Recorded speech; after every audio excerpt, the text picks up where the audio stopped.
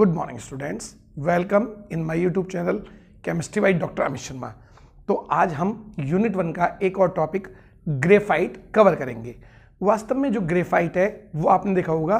Pencil के अंदर जो लेड होता है, वो ग्रेफाइट होता है। इसके अलावा जो ड्राई सेल हमारे पास आते थे बैटरी सेल जो होती थी लेकलान सेल उसके अंदर एक ब्लैक कलर का इलेक्ट्रॉन निकलता था, वो भी ग्रेफाइट का बना होता था। तो वास्तव में graphite is an allotrope of carbon graphite वास्तव में कुछ नहीं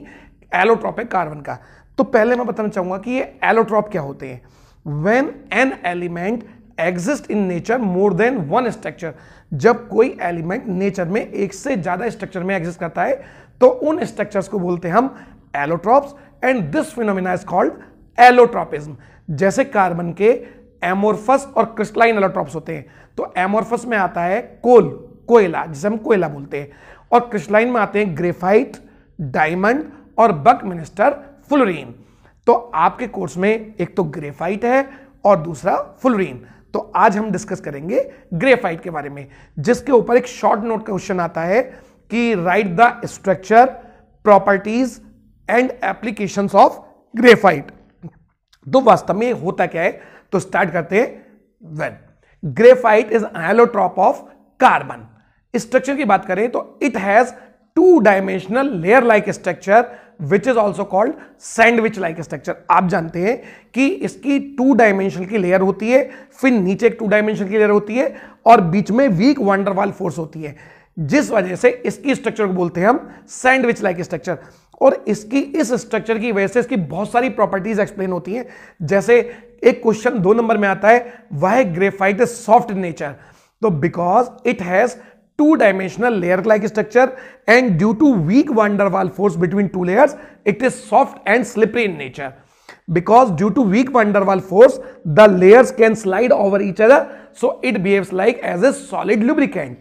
तीसरी प्रॉपर्टी पूछ जाती है कि जितने भी कोवेलेंट कंपाउंड होते हैं, वो सारे के सारे इंसुलेटर होते हैं but graphite is good conductor इसकी वजह भी क्या है? Due to weak van der Waal force between two layers तो स्ट्रक्चर के ऊपर बात करते हैं it has two dimensional layer like structure which is also called sandwich like structure in the structure of graphite each carbon atom is sp2 hybridized and arrange hexagonally in layers यानी कि जो हर carbon atom होगा वो hexagon बनाएगा और एक layer में ओवरेंज होगा और हर कार्बन का हाइड्रेशन होगा sp2 in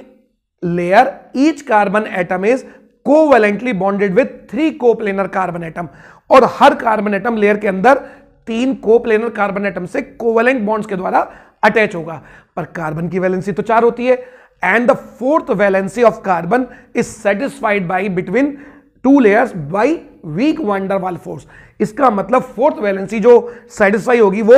weak van der Waal force between two layers तो इसके बाद बात करते हैं the carbon carbon bond length जो लेयर के अंदर कार्बन है, उनके बीच में जो कार्बन कार्बन की डिस्टेंस है दैट इज़ 0.142 नैनोमीटर या इसको हम बोल सकते हैं 1.42 एंगस्ट्रॉम या फिर बोल सकते हैं 142 पिकोमीटर तो मैंने यहाँ पे नैनोमीटर में लिखे कितने बोलेंगे? 0.142 nanometre and the carbon carbon bond distance between two layers और जो दो लेयर के बीच में कार्बन कार्बन की बॉन्ड डिस्टेंस है that is equal to zero point three four nanometre या फिर थ्री पॉइंट फोर एंगस्ट्रॉम या four three forty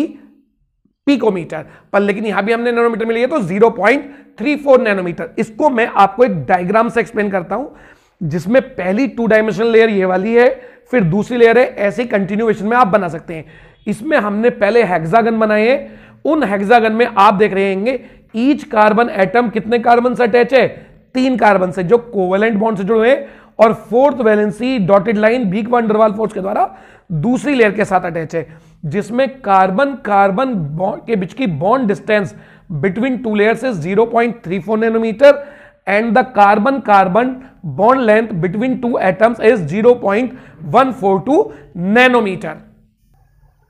types of graphite generally, there are two types of graphite exist in nature. Number one, alpha graphite, जो hexagonal arrangement होती है, और दूसरा beta graphite जिसका arrangement होता है रोम्बोहाइड्रल तो हम कह सकते हैं alpha graphite it has A B A B type arrangement it means पहली लेयर के अलावा दूसरी लेयर डिफरेंट होगी, और तीसरी लेयर फिर से फ़र्स्ट को रिप्रेजेंट करेगी. So it is called A B A B type arrangement और hexagonal arrangement this is alpha graphite beta graphite it has A B C A B C type arrangement इसका मतलब रोम्बोहाइड्रल arrangement इसे बोलते हैं beta graphite. Next आता है properties of graphite तो graphite की प्रॉपर्टीज़ जितने भी कोवलेंट कंपाउंड्स हैं, उससे थोड़ी डिफरेंट होती हैं। तो पहली प्रॉपर्टी की बात करते हैं, किस कलर की होती है? तो आपने देखा होगा, ये ग्रे और ब्लैक कलर की होती है। तो it is grey colour crystalline solid ये क्रिस्टलाइन होती है और ग्रे कलर की होती है तो it is grey coloured crystalline solid second one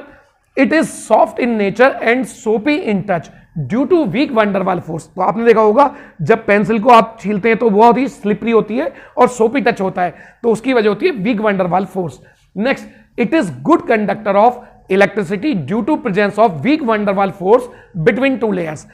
आपको मालूम है, जितने भी कोवेलेंट कंपाउंड होते हैं, वो सारे के सारे इंसुलेटर होते हैं एक्सेप्ट ग्रेफाइट तो ग्रेफाइट के बीच में वीक वंडरवाल फोर्स होती है, जो आसानी से ब्रेक डाउन हो जाती है और ये इलेक्ट्रिसिटी को कंडक्ट कर देते हैं। Third one it behaves like solid due to weak van der Waals force, layers can slide over each other. And it behaves like as a solid lubricants in different utensils.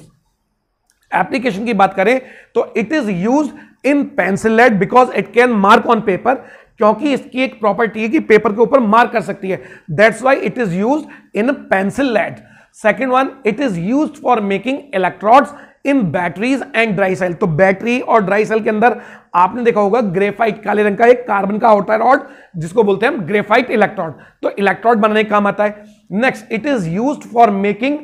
moderator rods in atomic pile और nuclear pile जितने भी हमारे nuclear reactor होते हैं तो उसके अंदर दो तरह की रॉड होती है कैडमियम रॉड और ग्रेफाइट रॉड तो ग्रेफाइट रॉड मॉडरेटर का काम करती है और इसलिए इसको क्या बोलते हैं हम? It is use for making moderator rod in atomic pile और nuclear pile next it is use for making crucible in metallurgical operation तो आपको मालूम है ग्रेफाइट का मेल्टिंग पॉइंट बहुत ज़्यादा हाई होता है तो इसलिए इसको मेटलर्जिकल ऑपरेशन के अंदर एक क्रूसिबल बनाने में यूज़ करते हैं। तो इस तरीके से आपने देखा कि ग्रेफाइट के ऊपर हम स्ट्रक्चर